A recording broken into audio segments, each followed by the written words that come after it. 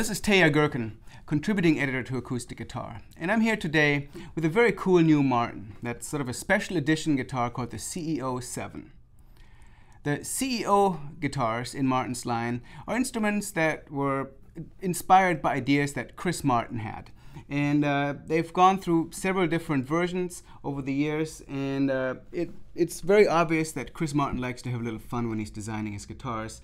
Um, in the past, he, he did a CEO series that was basically a Martin take on a Gibson slope shoulder type guitar.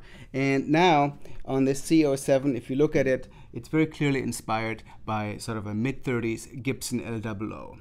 You can see by the sunburst, the body shape, um, and lots of other elements of the instrument uh, are closer to a vintage Gibson than they would be to a Martin.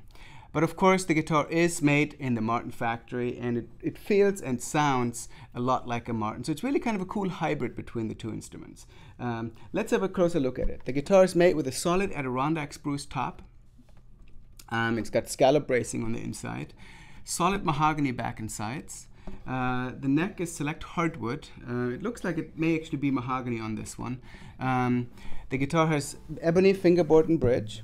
Uh, very simple appointments, uh, white binding, simple two-ring white rosette, white and black rosette, uh, solid headstock, and um, they're Golden Age relic nickel tuners, uh, open back.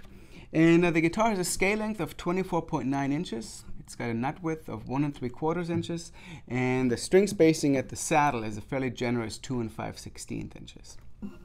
If you're familiar with uh, Martin guitars, you'll find that the neck feels a lot like uh, the necks on some of the other vintage series Martin guitars. It's got a slight V profile, but not too much that it's a really uh, pronounced V. It almost feels like a hybrid between a V and a, and a semi-round, uh, rounded uh, back. Um, the guitar also has a dovetail neck joint. Um, and you can tell it's got the, the small footprint uh, Martin bridge that you see on, on other vintage style Martins as well. Let's have a little more of a listen to it. Um, it really has a great dynamic range, whether you play it softly or dig in a little bit. So let me demonstrate that a little. Here it is played very soft. And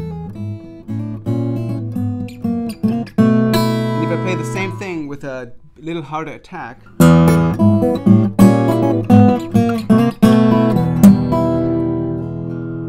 can hear that the guitar gets a little grittier sounding, which really kind of gets it more into that mid 30s L-00 kind of a sound. But but really, when I listen to the guitar, I hear more Martin than I hear the, the vintage Gibson sound, which is a very cool thing. It's a very unique guitar that way.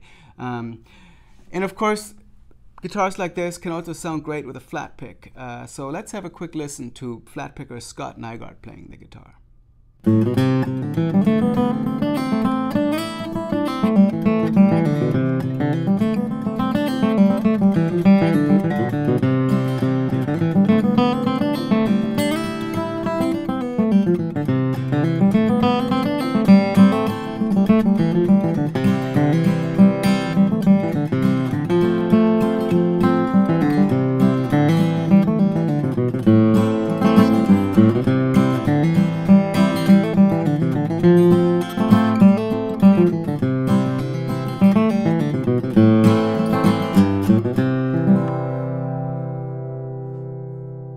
So that's the Martin CEO 7. It's a very interesting guitar, beautiful, very nicely made, uh, really great sound.